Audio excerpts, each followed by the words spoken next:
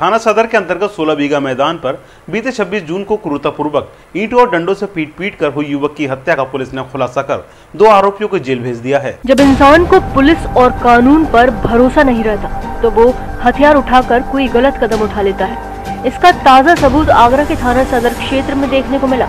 यहाँ बीती 26 जून को ओरखरा के 16 बीघा खेत में डल्लू नामक युवक की ईंट पत्थरों से कूच कर हत्या कर दी गई थी।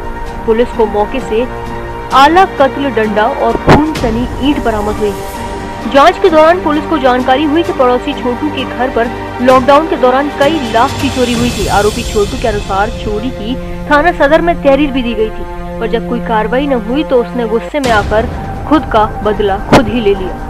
एसपी सिटी बोतरे रोहन प्रमोद के अनुसार मृतक डल्लू के घर के सामने रहने वाले छोटू के घर चोरी हुई थी और डल्लू के रहन सहन को देखकर छोटू को ऐसा लग रहा था कि ये उसके पैसों से मौज उड़ा रहा है।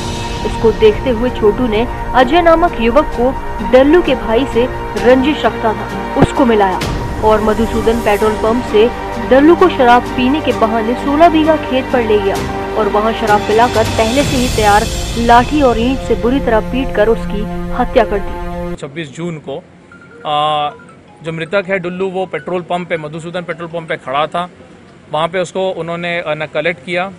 ये कह के कि चलो हम लोग शराब पीने के लिए जाएँगे। खेत में शराब भी उन्होंने अरेंज करके रखी थी सोलह बीघा खेत पे।